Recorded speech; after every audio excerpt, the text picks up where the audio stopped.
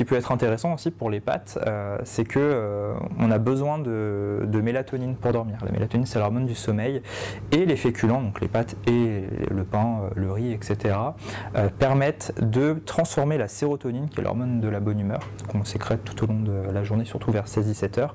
Bah, les féculents permettent à la sérotonine de se transformer en mélatonine pour bien dormir.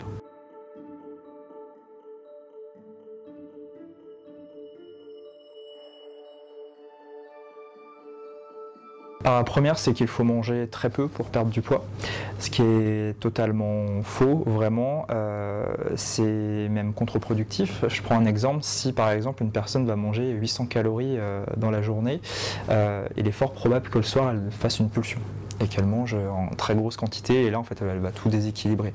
Il y a ça et le fait que le corps a des besoins euh, pas seulement énergétique, mais aussi pour le métabolisme. Et quand on n'apporte pas assez de nutriments, donc là on différencie un petit peu des calories. Hein. Calories c'est purement l'énergie, les nutriments c'est les protéines, les lipides, les glucides et puis toutes les vitamines et minéraux. quand il y a vraiment des carences, euh, le métabolisme va ralentir très clairement et là on va euh, pas perdre de poids.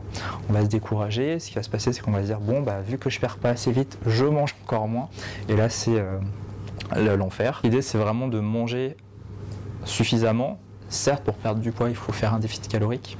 Un déficit calorique de 200 calories, ça suffit largement pour perdre du poids. Alors le gras et le sucre font grossir. Euh, ça, je pense que c'est une, idée qu'on entend plus souvent, surtout avec euh, tous les livres qui sortent en ce moment sur les livres anti-sucre, etc.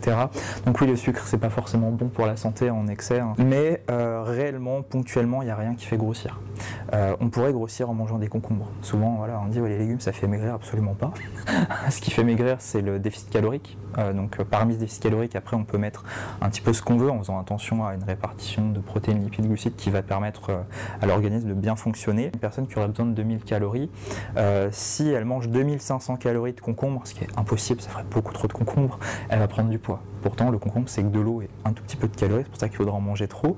Et à l'inverse, si euh, la personne a besoin de 2000 calories, mais qu'elle mange 1800 calories avec, je sais pas, de la pâte à tartiner, un burger, etc., elle va perdre du poids. Alors pas de pâtes le soir, euh, celle-ci elle est très répandue aussi.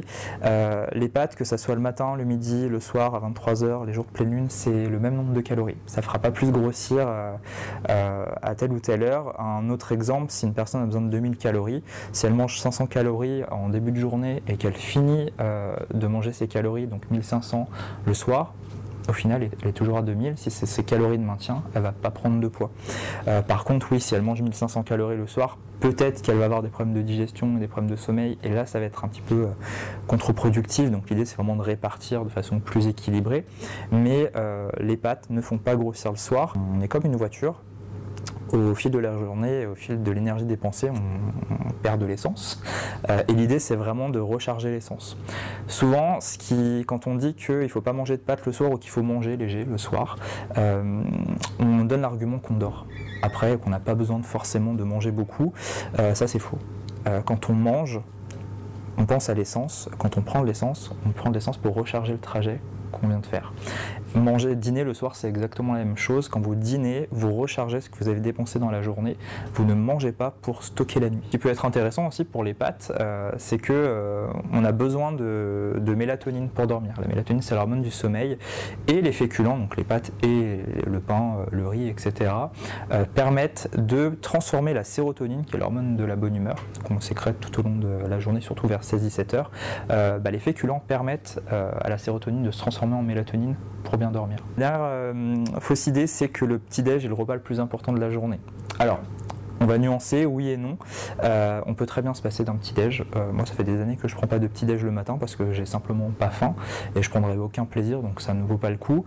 Ça va valoir le coup pour les enfants qui ont besoin de beaucoup plus d'énergie et de concentration et on ne peut pas toujours prendre de collation dans la matinée, donc ça peut être bien de faire un, petit-déj. Mais euh, quand on n'en a pas forcément besoin, on peut très bien reporter l'énergie dont on a besoin, on, aurait besoin de petit-déj dans une collation l'après-midi ou en répartissant sur les autres repas.